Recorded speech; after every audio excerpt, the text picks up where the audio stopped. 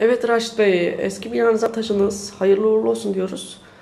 Efendim, e, eski binanıza taşınma sebebiniz nedir öncelikle? Eski binamızdan taşınma sebebimiz e, İsmet Paşa Caddesi, Sonra Nişanı 3. 6. katında il ilçe teşkilatı olarak çalışmalarımıza devam etmekteyiz.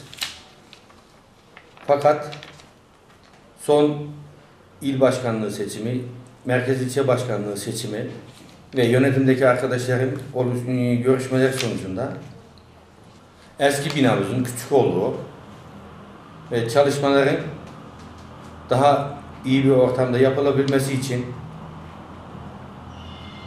Kurtuluş Mahallesi, Çakolos Sokak, Uşak adresinde bulunan binanın üçüncü katına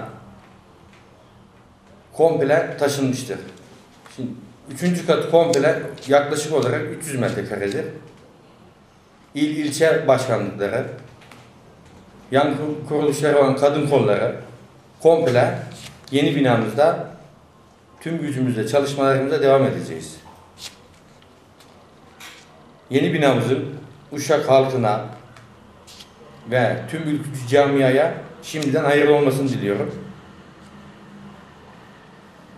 Bu hafta sonu taşındığımızdan dolayı daha yerleşim olarak tam yapılmadı. Eksikliklerimiz var. Tüm eksiklikler bitirdik, e, tamamlandıktan sonra önümüzdeki günlerde yeni teşkilatımızın açılışı yapılacak ve tüm ülkücü camiayı ve Uşak halkını davet edeceğiz.